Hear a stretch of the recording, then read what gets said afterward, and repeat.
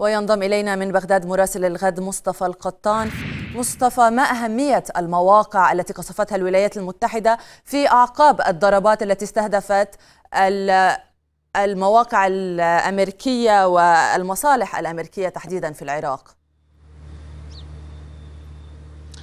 صباح الخير. يعني بحسب ما صرحت به وزارة الدفاع الأمريكية آه، بأن هذه المواقع التي تم استهدافها فجر هذا اليوم الساعة الثانية فجرا تحديدا بالتوقيت المحلي للعراق هي آه، معسكرات آه، ومستودعات أسلحة تستخدم لشن هجمات تطال القوات الأمريكية والمصالح الأمريكية في العراق بالطائرات المسيرة التي ذكرت واشنطن في مناسبات سابقة بأنها التهديد الأخطر الآن على تواجدها العسكري. والدبلوماسي في العراق باعتبار أن الطائرات المسيرة هي منخفضة التكلفة وكذلك ضربات ضرباتها تكون أكثر دقة من الصواريخ التي كانت تستخدم في تنفيذ هجمات مختلفة ومتفرقة على مختلف المواقع العسكرية التابعة للقوات الأمريكية والتي تتواجد فيها القوات الأمريكية بالعراق. بالتالي جاءت هذه الضربات الجوية بحسب طبعا تصريحات البنتاغون بأنها من أجل حماية الجنود الأمريكيين والدبلوماسيين الأمريكيين في العراق وإنها ضربات ضرورية. وذكر البنتاغون أو ذكرت وزارة الدفاع الأمريكية بأن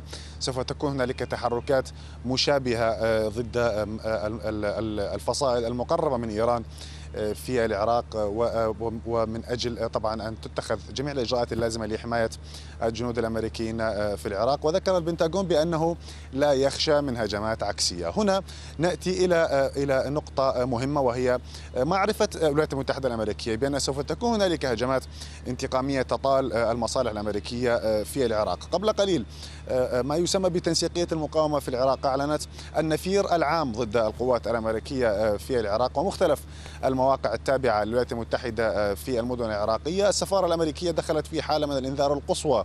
منذ فجر آه، هذا اليوم آه، مستعدة لربما لتلقي آه، تلك الهجمات العكسية التي ذكرتها أو ذكرها البنتاغون ونوهت لها كذلك تنسيقية المقاومة في العراق. طبعا الهجوم الذي نفذ فجر هذا اليوم نفذ بطائرات أمريكية استخدمت قنابل تزن طن و250 كيلوغرام من المواد شديدة الانفجار بحسب صحيفة نيويورك تايمز التي استهدفت مواقع تابعة موقعين في سوريا وموقع آخر في العراق تابعة لكتائب آه، سيد الشهداء وكتائب الإمام علي. حتى هذه اللحظة آه، كان هنالك بيان للنعي أصدره أو أصدرته حركة آه، سيد الشهداء بمقتل أربعة من مقاتليها في الضربات الأمريكية التي نفذت فجر هذا اليوم.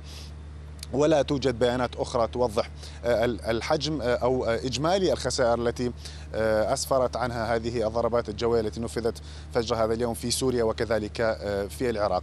فيما يخص طبعا ردود الأفعال على الجانب الرسمي هنالك رد فعل واحد حتى هذه اللحظة رصدناه من النائب فالح الخزعلي في البرلمان العراقي الذي نشر تغريدة له على حسابه في موقع تويتر ذكر بأن واشنطن لا تتعامل إلا بالقوة ويجب التعامل معها بالمثل. مثل هنالك على الحسابات التابعة والمقربة من الحشد الشعبي على موقع تويتر وكذلك على قنوات تليجرام تحشيد حتى هذه اللحظة لتنفيذ هجمات انتقامية ضد التواجد الأمريكي في العراق ردا على ما حدث من ضربات جوية فجر هذا اليوم من قبل الجانب الأمريكي.